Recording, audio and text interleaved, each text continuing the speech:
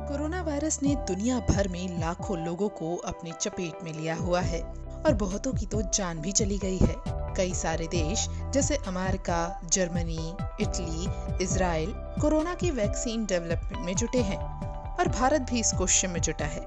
इसी बीच, चीन ने दावा किया है कि उनकी बनाई हुई कोरोना वायरस की वैक्सीन बंदरों पर प्रभावी साबित हुई है।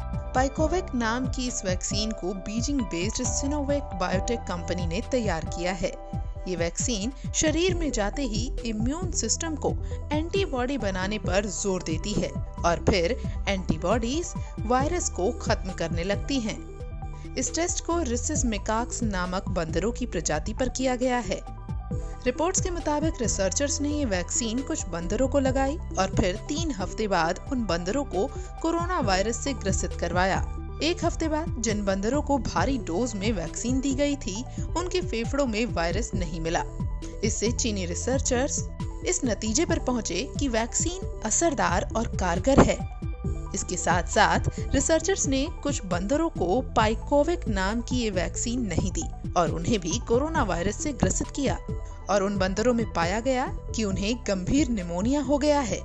रिपोर्ट्स के मुताबिक अब इस टेस्ट के बाद वैक्सीन का टेस्ट इंसानों पर भी किया जाएगा।